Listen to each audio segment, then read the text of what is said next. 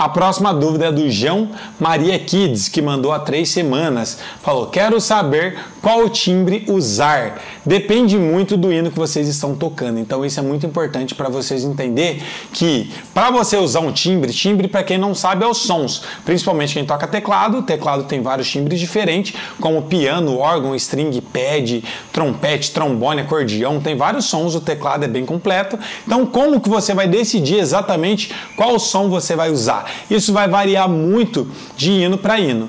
Então, o que, que eu gosto de pensar? Também não quer dizer que é a única forma de pensar, mas eu gosto de usar dependendo da configuração da banda um instrumento ou outro. Por exemplo, se eu estou tocando sozinho teclado, ou se eu estou tocando só teclado e violão, vamos supor que você toque numa igreja, você é tecladista e só tem você como tecladista, ou tem você e mais um violão só.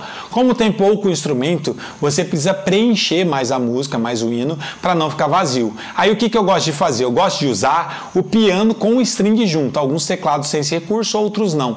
Você junta o piano e o string junto, fica como se fossem dois instrumentos ao mesmo tempo, então vai preencher mais a música vai ficar mais cheia a música. Então isso fica bem legal.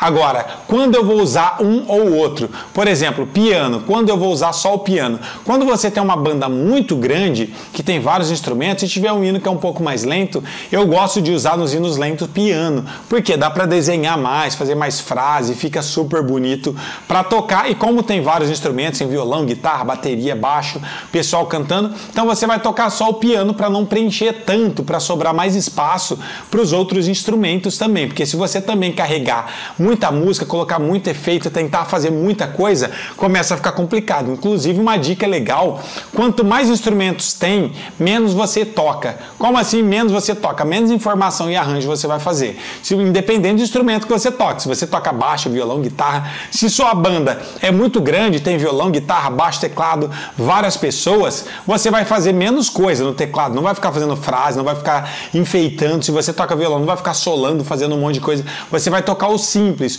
o mínimo possível. Por quê? Cada instrumento vai estar complementando e o hino vai ficar super cheio. E se começa a fazer muito arranjo, muito enfeite, cada uma das pessoas começa a virar uma bagunça e a música embola. Agora, quanto menos instrumento tem no grupo de louvor de vocês, aí mais vocês precisam tocar, colocar mais arranjo, mais informações para conseguir preencher a música, o hino, para ele ficar mais completo, é menos vazio, tá bom? Então, para quando vocês estiverem tocando sozinhos ou com violão, quem toca teclado, eu sempre indico usar o piano e o string junto para dar uma preenchida. Se você está tocando com uma banda grande e o hino é mais lento, normalmente eu uso piano só. Agora, quando vai tocar um hino que é mais rápido, se você tem uma banda muito grande, tem vários instrumentos, aí eu indico vocês usarem o som de órgão, de string, de pad, porque como já tem a bateria, já tem a guitarra, o hino já é muito agitado, tem muita informação, se você ainda ficar tocando muito dedilhado no piano, vai embolar muito, vai começar a misturar os sons do violão com a bateria,